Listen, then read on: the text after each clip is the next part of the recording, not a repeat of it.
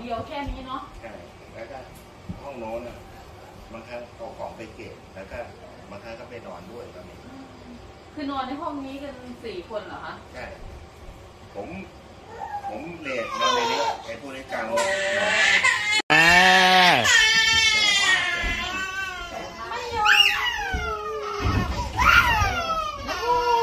มามาแมว โอ้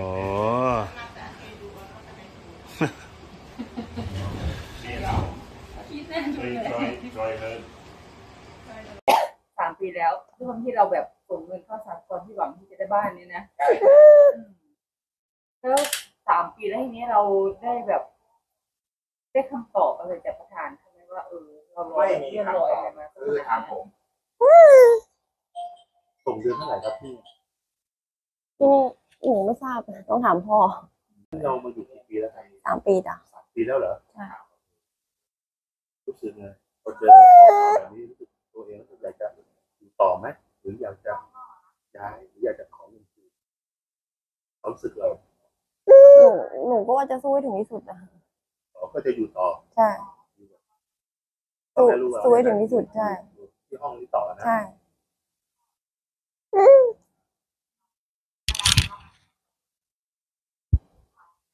น้องชื่ออะไรครับพี่น้องน้ำอุ่นจ้ะน้องน้ำอุ่นอายุกี่ขวบแล้วครับเนี่ยเจ็ดเจ็ดเดือนจ้ะเจ็ดเดือนเหรอวันที่สิบหกนี้ครบเจ็ดเดือน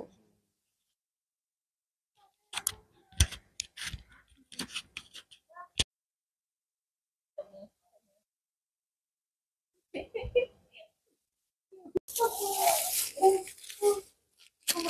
ันนี้ทำอะไรกินครับวันนี้ผัดกะเพราจ้ะกะเพราหมูสับนะจ้ะ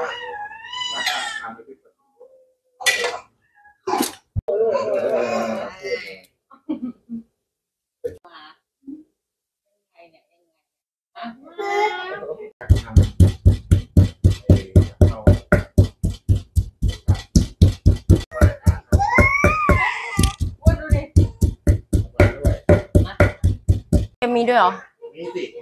อ๋อมีเนี่ยอ่ากระเทียมสักสามสี่ขีดสามขีดเอาครึ่งเลยอันอยู่กินที่ผู้จัดข่าวไอ้คนนั้นน่ะโตก็ไว้แต่ผมไม่กินด้วยนะเรื่องเลยนะ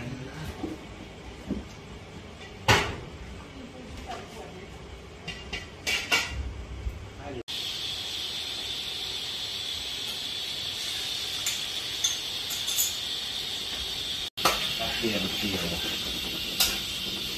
ผัดกะเพราแล้วกะเพราไงนะกระเทียมครับลุง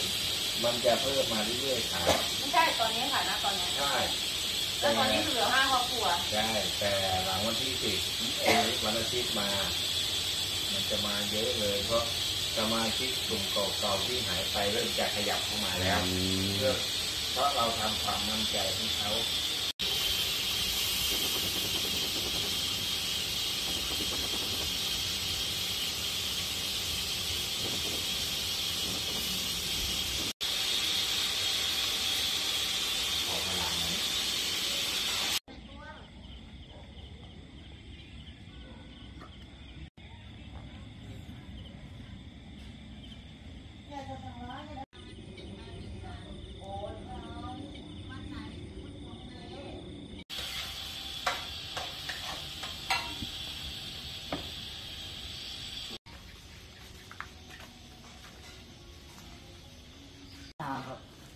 อ๋อนี่ห้องน้ำห้องน้ำรวมเหรอเราก็มาใช้ชีวิตกันอยู่นี่นะส่งเงินให้เรียบ้านแต่กลับได้มาอยู่แบบ เหมือนแคมป์คนงานเลยเนาะมีห้องอาบน้ำไหมห้องอาบน้ำมีครับ แต่ว่าอยู่โซน อืมแต่อ๋อห้องอาบน้ำมีห้องเดียวเหรอสองห้องเหรอ อ๋อ อัน นี้คือดีก็สามารถสีฟิวเราพายุมาอย่างเนี้ยใช่ไหมอ้าวตรงนี้ทำไมไม่มีถังน้ำเลย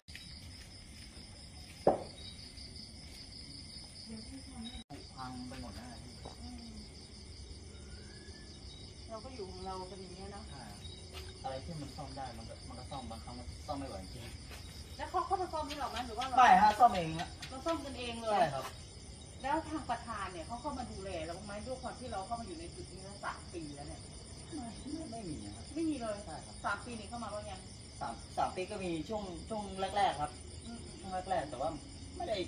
ช่วยอะไรมากมายครับอืมเนี่ยคือจะสร้างให้เราเมื่อไหร่เขาบอกต้องเดินเรื่องต้องอะไรแล้วเราไปติดโควิดอย่างเงี้ยครับ อืมแต่กลับกลายว่า พอมาชี้แจงจริงมันไม่ใช่อย่างนั้นอืมมันกลับกลายว่า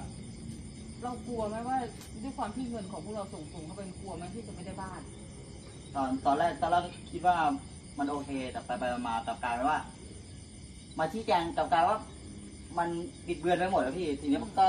ก็กลัวกันทีนี้ก็เลยบางคนเขาก็ไม่กล้าส่งครับครับอ่า ย้ายย้ายไปบ้าง ย้ายหนีไปบ้างก็ ก็มีครับก็มีก็มีย้ายออกไปบางบางครั้ง มันอยู่ไม่ไหวจริงๆคือว่าบ้านเป็นอย่างเงี้ยพี่อืมแต่ทีเนี้ยมัน บางครั้งมันซุดโซมบางครั้งมีงูมีอะไรบางคนบางครั้งคนแก่บ้างอะไรเขาอยู่ไม่ไหวเขาก็ย้ายออกไปกันบ้างครับเพราะมันไม่ค่อยสะดวกแล้วเมื่อก่อนคือเราคือเช่าบ้านกันอยู่ ใช่ครับเช่าบ้านอยู่แล้วแล้วก็ต้องจ่ายค่าที่ดินค่าอันนี้ด้วยค่าเช่าบ้านใช่มันไม่ไหว แล้วเขาให้เหตุผลเราอะไรยังไงเขาถึงมาทำแบบเหมือนแคมป์คนงานก่อสร้างเนี่ยให้เราอยู่เขาด้วยความที่เราส่งตรงนั้นไป ใช่เขาเขาบอกว่ามันมันจะได้ลดลดค่าใช้จ่ายลงประมาณนี้ครับแล้วกาเขาร แล้วเขาบอกเราว่าบ้านเนี่ยประมาณกี่เดือนที่เขาจะที่เราอันนี้ไม่แน่ไม่แน่ใจนะ แต่ว่าเขาเคลียร์เรื่องที่ดินกันเสร็จแล้วทีนี้มันติดเขาบอกว่าติดปัญหาโควิดบ้างอะไรบ้างอะไรอย่างนี้ครับ แล้วทุกวันนี้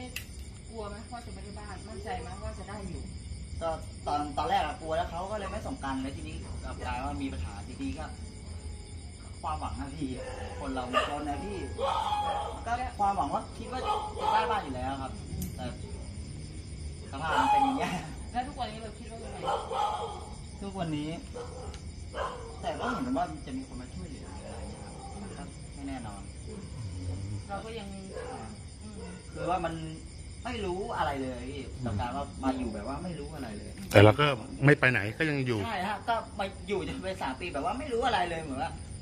รอความหวังรออะไรเนี่ยกลับกลายว่าต้องมาดิ้นรนเอาเองนะครับประมาณเนี้ยครับเราก็ออกไปทำงานวันหนึ่งใช่ เย็นแล้วก็กลับมาบ้านอย่างเงี้ยใช่ต้องมาดิ้นรนเอาเองว่ารู้บ้านตัวจะเอยังงไงอ่า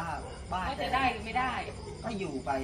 อย่างเงี้ยที่เรามาอยู่ตรงนี้ก็คือให้มันทุนแบบค่าใช้จ่ายค่าใช่ครับ คือมันแต่ก่อนมันไม่ไหวมันไหนจะเช่าบ้านไหนจะส่งกันเนี่ยครับแต่กลับกลายว่าพอมาอยู่นิดไหนจะเช่าบ้านไหนจะส่งสหกรณ์ใช่ครับอืมกินการดน่าดูเลยม่วง